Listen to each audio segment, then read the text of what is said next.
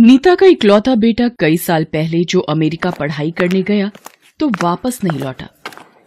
एक दिन उन्हें पता चला कि उसने किसी नेहा नाम की लड़की से शादी भी कर ली है।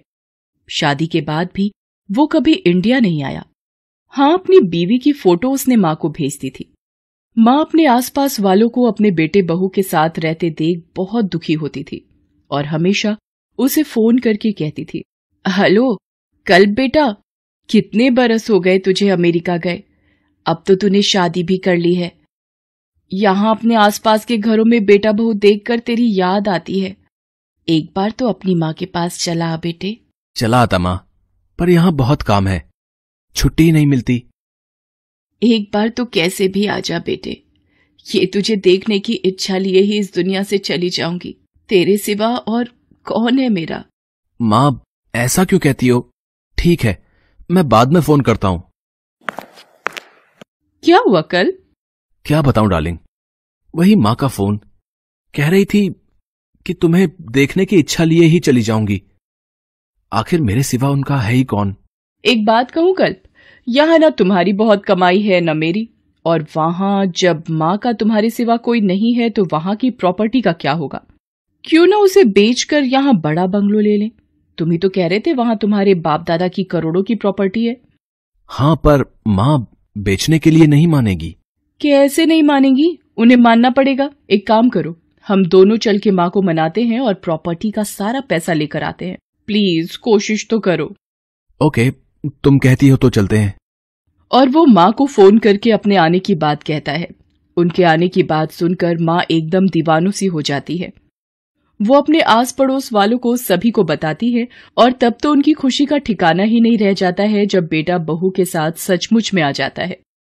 उन दोनों के आते ही माँ दरवाजे पर ही पानी भरे लोटे से उनकी नज़र उतारती है।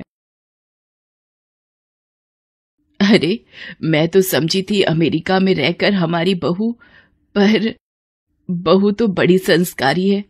माँ, इसे मैंने शादी से पहले ही कह दिया था। मेरी माँ को संस्कारी बहू पसंद है, वरना मैं शादी नहीं करूँगा। ये मान गई। बेटे की बात सुनकर और बहू की सेवा देखकर माँ खुश हो जाती है। वो उनकी बहुत आओ भगत करती है। बहू भी उन्हें खूब मस्के लगाती है। रात को उनका बिस्तर ठीक कर देती है। सोते हुए उनके पैर दबाती है। आस पड़ोस वाले भी बहू को ऐसी सेवा करते देख, बहू की तारीफ़ करते हैं। दो दिन ऐसे ही मस्केबाजी में गुजरने के बाद वो माँ से प्रॉपर्टी बेचने की बात करते हैं। सुनते ही जैसा कि उन्होंने सोचा था, माँ मना करती है। क्या बात करते हो बेटा? ये हमारा खानदानी घर है। तुम्हारे दादा से ये आ रहा है। इसे कैसे बेचते? मैं भी इन्हें यही कह रही थी, माँ जी, पर आपकी बात मानता हूँ, माँ। पर हमारे दादा तो राजस्थान में पैदा हुए थे। उनके खानदानी मकान, प्रॉपर्टी, सब उन्होंने बेचा और यहाँ मुंबई में प्रॉपर्टी बनाई। जैसे वो राजस्थान से मुंबई के हो गए वैसे ही आप यहाँ से सब बेचकर अमेरिका की हो जाइए। फिर हमारी पीढ़ी वहाँ पलेगी।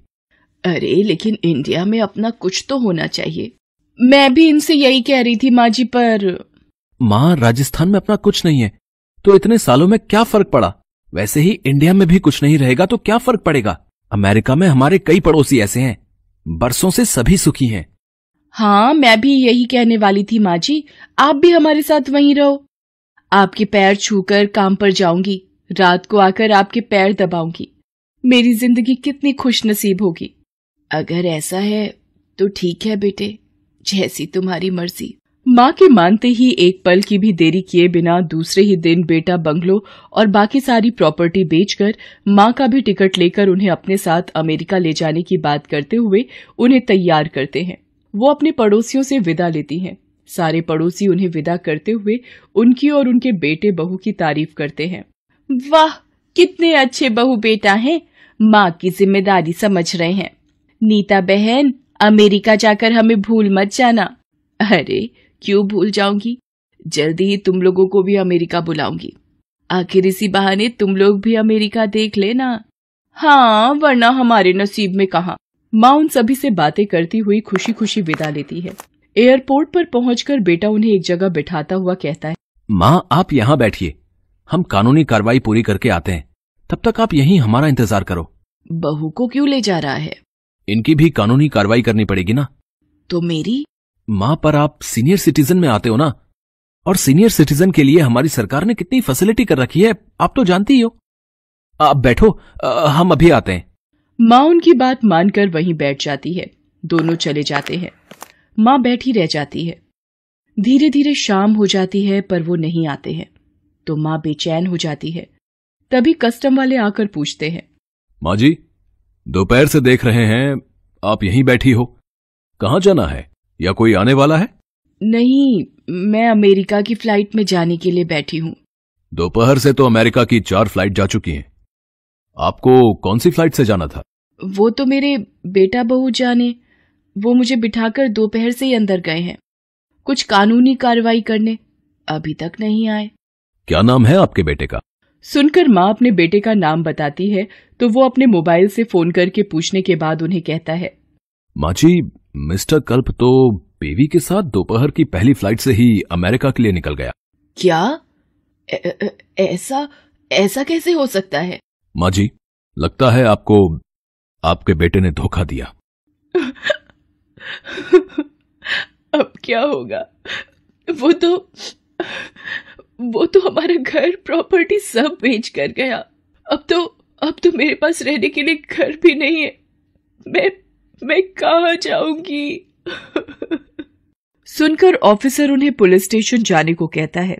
माँ पुलिस स्टेशन जाती है, जहाँ पुलिस के बुलाने पर उनकी वही पड़ोसन उनसे मिलने आती है। पड़ोसन को देखते ही वो और भी बुरी तरह फफक पड़ती है। देखो बहन मैं तुम्हें अमेरिका घूमने के लिए बुलाने वाली थी। कहा मैं खुद नहीं जा पाई। आप घबराइए मत सब ठीक हो जाएगा। कुछ ठीक नहीं होगा वो तो चले गए। ठीक हो जाएगा माँ जी आपके बेटे बहू को इसकी सजा ज़रूर मिलेगी। पड़ोसन उसे अपने घर ले आती है। माँ के दिन रोते हुए ही बीतते हैं। पड़ोसन उसे पल पल संभालती है उसके आँसू पोछती है। यहाँ कुछ ही दिन की मेहनत के बाद इंडियन पुलिस उसके बेटा बहू को पकड़कर इंडिया ले आती है। यहाँ आकर पुलिस बेटे की खूब ठुकाई करती है। अपनी बूढ़ी माँ को धोखा देता है। जिसने पाल पोस कर बड़ा किया उसे ही लावारिस छोड़कर भाग गया। नहीं नहीं मुझे माफ़ कर दो मुझे माफ़ कर दो चुपचाप अपनी माँ की प्रॉपर्टी वापस कर वरना फॉरन रिपोर्ट भेज दी। तो वहाँ से नौकरी से भी जाएगा और यहाँ जेल भी जाएगा। सुनकर पति पत्नी घबरा जाते हैं। दोनों वहीं खड़ी माँ के पैरों में गिर पड़ते हैं। हमें माफ़ कर दो माँ। हमें माफ़ कर दो। कैसे माफ़ कर दो बहू? मैं तो तुम्हें संस्कारी समझ रही थी, पर जब मेरा बेटा ही संस्कारी नहीं है तो वो बहू कैसे संस्कारी ला सकता है? और पुलिस के कहने पर वो न सिर्फ़ माँ का बंगलो और सारी प्रॉपर्टी वापस करता है बल्कि उनके नाम पर पुलिस इतना पैसा एफडी करवाती है कि ज़िंदगी भर माँ का खर्च चल सके। अभी वो ये सब कार्रवाई करके निपटते ही हैं कि तभी बेटे को फॉरेन से लेटर आता है कि उसे नौकरी से डिसमिस कर दिया गया है। सुनकर बेटा रोने लगता है। माँ मैं कहा जाऊँगा? प्लीज़ मुझे अपने घर में रहने दो। पर माँ और पड़ोसन के बुलाने पर पुलिस इंस्पेक्टर आकर बेटे से कहता है। अब तुम्हारे किए की एक ही सजा है। कि तुम अपनी माँ के बंगलों में ऊपर के कमरे में अपनी बीवी के साथ किराए पर रहो और हर महीने अपनी माँ को किराया दो। मंजूर हो तो बोलो वरना हाँ हाँ मंजूर है इंस्पेक्टर साहब मंजूर है। आ, हाँ इंस्पेक्टर साहब मैं माँ की कसम खाकर कहता हूँ अब मैं कभी भी फ़ौरन जाने का ट्राई नहीं करूँगा माँ के कदमों में ही पड़ा रहूँगा।